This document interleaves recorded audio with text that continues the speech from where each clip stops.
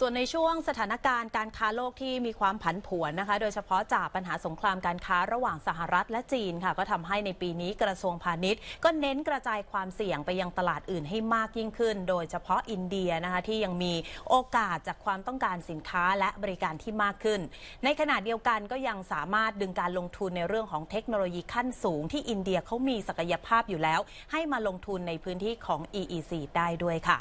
นางสาวชุติมาบุญยประพัฒสอนรัฐมนตรีช่วยว่าการกระทรวงพาณิชย์ประเมินศักยภาพการส่งออกของไทยในปีนี้ ยังคงเชื่อว่าจะขยายตัวได้ตามเป้าหมายที่ร้อยละ8แต่ยังอยู่บนพื้นฐานของการค้าโลกที่เริ่มคลี่คลาย ไปในทิศทางที่ดี โดยเฉพาะปัญหาสงครามการค้าระหว่างสหรัฐและจีน สามารถตกลงกันได้ในระดับหนึ่ง เพราะว่าปีที่ผ่านมาจะเห็นว่าการส่งออกของไทย ยังไม่เป็นไปตามเป้าหมาย ซึ่งมาจากผลกระทบของสงครามการค้าเป็นหลัก แต่ไทยพยายามที่จะหาตลาดส่งออกใหม่ ๆ เพราะอาจมีปัจจัยอื่น ๆ มากระทบได้ ดังนั้นค่ะ ตั้งแต่ปี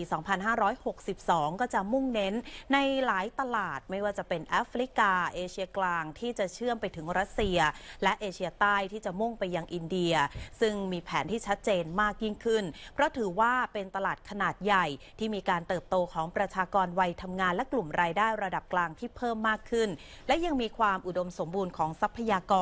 โดยเฉพาะสินค้าเกษตรที่ไทยมีนวัตกรรม สามารถนำไปจับคู่เพิ่มมูลค่า พื่อเป็นแหล่งผลิตและกระจายสินค้าไทยได้ ซึ่งจากการประชุมประเมินสถานการณ์การส่งออกไปยังตลาดอินเดียเมื่อช่วงปลายปีที่ผ่านมา มีการกำหนดเป้าหมายการส่งออกในตลาดอินเดียค่ะ ว่าจะขยายตัวได้ถึงร้อยละ 8 ในปี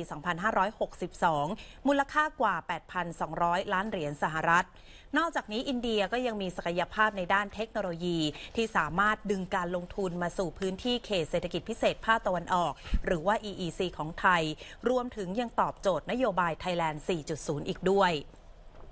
สำหรับแผนการเจาะตลาดอินเดียค่ะ ก็จะเน้นไปที่การผลักดัน SME และนักลงทุนขนาดกลางของไทย ให้เข้าไปดำเนินธุรกิจในตลาดอินเดีย ผ่านการสร้างแบรนด์ที่เจาะรัฐที่มีศักยภาพ เน้นกลุ่มสินค้าผลิตภัณฑ์ทางการเกษตร ไม่ว่าจะเป็นน้ำมันรำข้าว น้ำนมข้าว และอาหารมังสวิรัตโดยใช้ยุทธศาสตร์เจาะตลาดเมืองหลักเมืองรอง ที่มีศักยภาพ การแสวงหาช่องทางการตลาดผ่านช่องทางทันสมัย อย่างเช่นห้างค้าปลีก และการค้าออนไลน์ โดยจะมีการจัดกิจกรรมส่งเสริมการขายตามสาขา